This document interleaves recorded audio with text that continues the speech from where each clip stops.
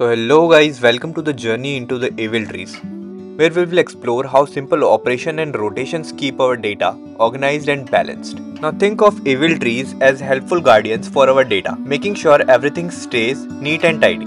Imagine our tree as a dancer, gracefully moving with the music of our data. But what happens if our dancers start to stumble? That's where operations step in. Insertion add a new data to the tree, while deletion deletes the data from the tree but sometimes it throws things off balance. That's when rotation come to the rescue. Picture them as a smooth moves on the dance floor. The LL rotation gently leans to the left while RR rotation slides to the right. Sometimes we need a mix of both. That's where LR and RL rotation comes in. They're like dance combos, making sure our tree stays steady. With these simple steps, our AVL tree keeps our data in harmony, making sure everything stays organized and easy to find. So come join us as we learn how operations and rotations keeps our data dancing smoothly into the world of AVL trees.